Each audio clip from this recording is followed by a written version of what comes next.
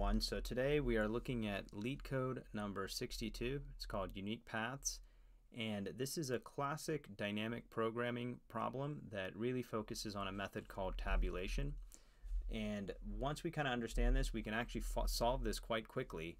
Um, but the way you want to think about this is uh, you want to create a table and then fill in certain elements, certain initial elements into that table, and then you can figure out all the values for the rest of your table based off of those initial elements. That's kind of how you want to get a mental model around, around these types of problems. So uh, let's take a look at the prompt here. Robot is located, at the top left corner of an M by N grid. The robot can either move uh, down or right at any point in time and the robot is trying to reach the bottom right of the corner of the grid marked finish, how many possible unique paths are there?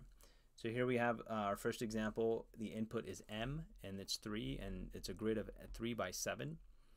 And there are 28 different ways you can get to finish if that robot is moving uh, right or down. Okay, so let's let's kind of take a look at a conceptual overview of this. So let's say our input is, let's start small. And let's say our input is, um, it's something simple like 3, 3 by 3, okay? So we have m equals 3 and n equals 3. So we have a very simple 3 by 3 grid. Okay, so we'll do 1, 2, and 3, and then 1, 2, and 3. Okay, so what we want to do here is with any of these types of problems, we want to figure out what are some initial values we can fill in to this grid, and can we figure out the rest of the values based off of those initial values as we iterate over the grid. So let's think about it.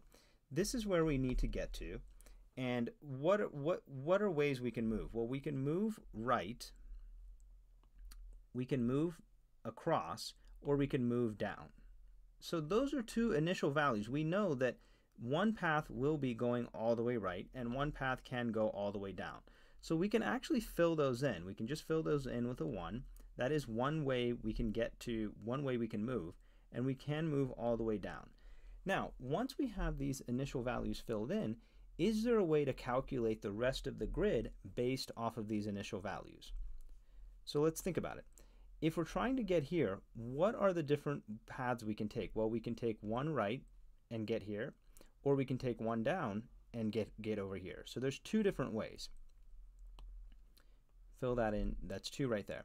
And if we look here, another way to think about this is if we take this one here and we take this one and we just add those together, we're going to get two here. Now, we don't need to figure out the rest of the ways how to get to this cell right here. We know there's two different ways to get to this cell, and there's one way to get to this cell. Okay? So now what we can do is that this cell right over here is just going to be the sum of 2 and 1, which is going to be 3. So again, we know that there's two ways to get to this cell and there's one way to get to this cell, so this cell will be three ways. It will be the sum of 2 and 3. And again, we can just fill out the entire grid just based off of that, that simple principle. So here this will be 3 and then this will be 6. And 6 of course is the correct answer. So it's once we kind of understand that basic concept, it's actually not too bad. Okay, so coding it up, let's go ahead and, and move over here to the code. So what we want to do first is just create our grid. Const table, and we can just do um, array dot from. We'll do a length of m, and then we'll fill in each one of the rows with a new array of a length of n. And all we're doing here is we just go ahead and go ahead and creating that that two by two array right here, our grid.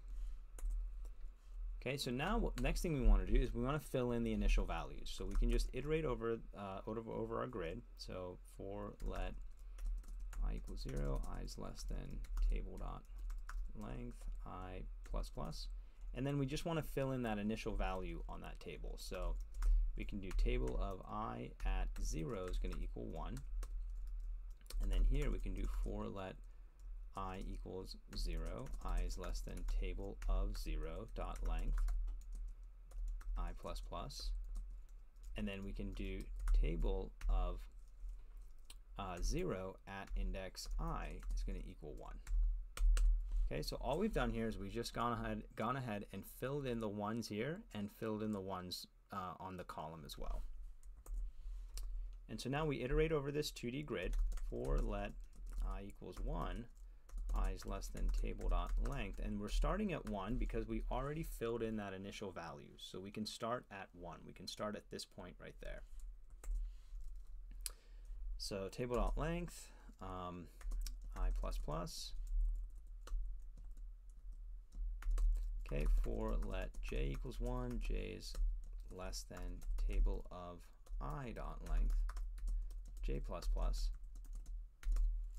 And now we are here. We just want to fill in this value, which is just a sum of the cell above and the cell to the left of it. So we can just do table of i, j is going to equal table of i minus 1, j plus table of i, j minus 1. And then we just go ahead and return the very last element in our table. n minus 1 and table of n minus 1.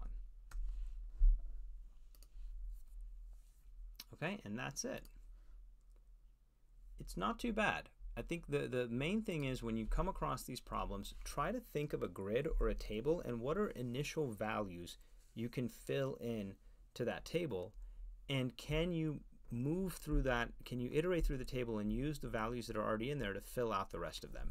That's the key way to look at these dynamic, uh, so dynamic programming problems, and they become a lot easier. And as you can see, there's not a lot of code, but you do want to make sure you think through all of this um, because it is easy to make mistakes. But once you kind of get, once you kind of have an understanding of what you want to do, uh, you can see there's, there's actually not that much code that you have to write. Uh, so that is LeetCode number 62. Hope you liked it, and I'll see you on the next one.